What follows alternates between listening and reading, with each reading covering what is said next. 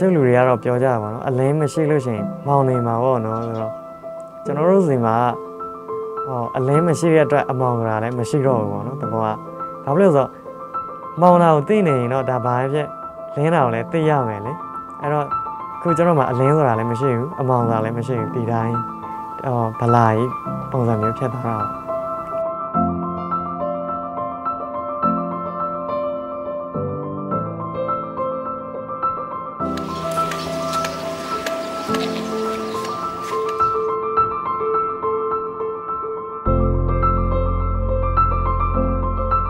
ပေါ့ဝေးရပါမျက်စိအလင်းကွဲပြောက်သူတို့အတွက်တာမန်လူတွေကြားထဲမှာသွာလာလှုပ်ရှားဖို့ပေါင်းသင်းဆက်ဆံဖို့အခက်အခဲတွေများပြားလာပါတယ်။အဲ့လိုပဲမျက်မမြင်ကရင်တိုင်းရင်းသားကိုစောမနိုင်ဖောင်အတွက်ရန်ကုန်မြို့ကြီးထဲမှာသွာလာနေထိုင်ဖို့ပေါင်းသင်းဆက်ဆံဖို့စားဝတ်နေရေးရုန်းကန်လှုပ်ရှားဖို့အခက်အခဲတွေဟာတကယ်ကိုများပြားလွန်ပါတယ်။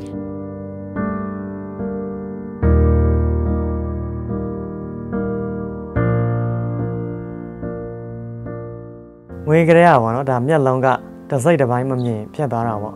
အိမ်မှာကလည်းအဲ့အချိန်တုန်းကအကြက်တဲတွေဖြတ်ခဲ့တယ်ပေါ့နော်နောက်တော့အဖေနဲ့အမေကလည်းဒီမသိမ့်မသိမ့်ဖြစ်တဲ့အပိုင်းတွေရှိတယ်ကျွန်တော်မှမွေးချင်းအားလုံးစုပေါင်းအဲကျွန်တော်အပါဝင်၈ယောက်ရှိတယ်ပေါ့နော်အဲ့တော့အကိုတို့အမတို့အကောင်လုံး9ယောက်ရှိနေပြီဆိုတော့ဟော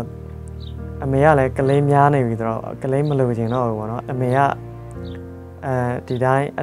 လက်လက်တယ်ခေါ်ပြီးတော့မှကလေးဖြတ်ချခဲ့တယ်ပေါ့နော်ဒါပေမဲ့ကျွန်တော်ကကံကောင်းစာနဲ့ပဲလူလောကကြီးကိုကျွန်တော်ရောက်လာခဲ့တယ်ရောက်လာခဲ့တယ်ဆိုပေမဲ့လည်းအဲ့အချိန်မှာကျွန်တော်မျက်လုံးကတစ်စိတ်တစ်ပိုင်းမမြင်ဘူးဖြစ်ခဲ့တယ်ပေါ့နော်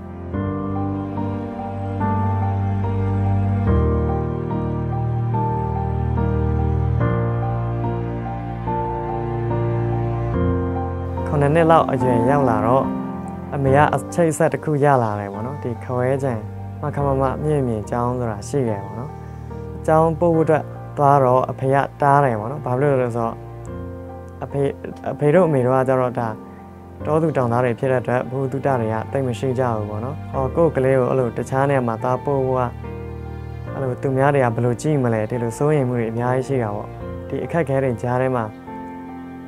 ကျွန်တော်တို့ကျွန်တော်နောက်ဆုံးကျောင်းကိုရောက်လာခဲ့တယ်ပေါ့နော်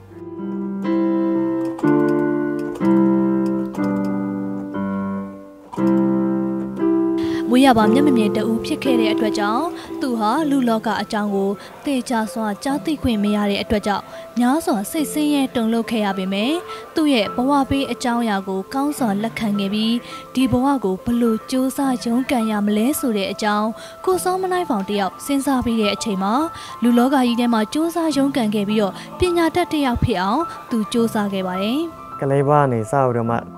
တစ်နှစ်တစ်တန်းတစ်နှစ်တစ်တန်းပုံမှန်အောင်လာခဲ့တယ်အဲ10တန်းအောင်လဲကျွန်တော်နှစ်ချင်းပေါက်ပြီးတော့မှအောင်လာခဲ့တယ်ပေါ့နော်အော်အင်္ဂလိပ်အထူးပြုနဲ့ကျွန်တော်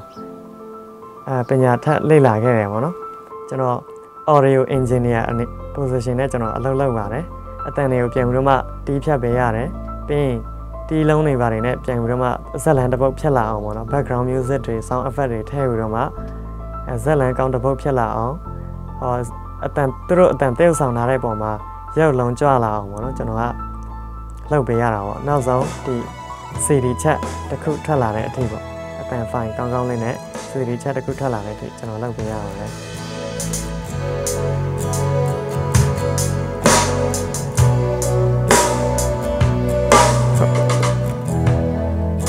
ဟောငယ်ငယ်တော့ဆို73 74အရွယ်လောက်တော့ရှိမှာပေါ့ပွဲတွေပါတွေသွားကြတယ်ပွဲသွားဖို့အတွက်အဲ့လိုအခြေအနေမျိုးမှာ ကျွန်တော်ကလည်းတားချင်တယ်ပေါ့နော်တားချင်တယ်ဆိုတော့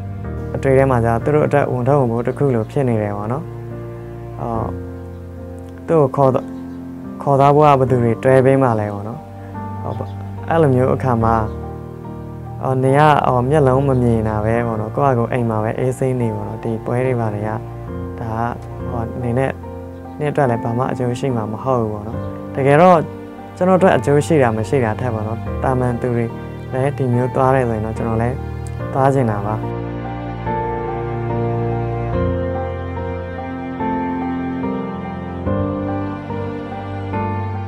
ဒီအဓိကကျွန်တော်တို့ဘာမှာအရေးကြီးတာဘာလို့နေရလဲပေါ့နော်လိုအပ်နေတာပညာရေးလားဒီပညာလားဟောပတ်စံလားပေါ့နော်ကျွန်တော်အနေနဲ့ကတော့ဟောနှစ်ခုစလုံးတော့လိုပါတယ်လို့ဘဝမှာတကယ်အဆင်ပြေတဲ့အနေအထားမျိုးဖြစ်အောင်ကျွန်တော်လုပ်ချင်ပါတယ်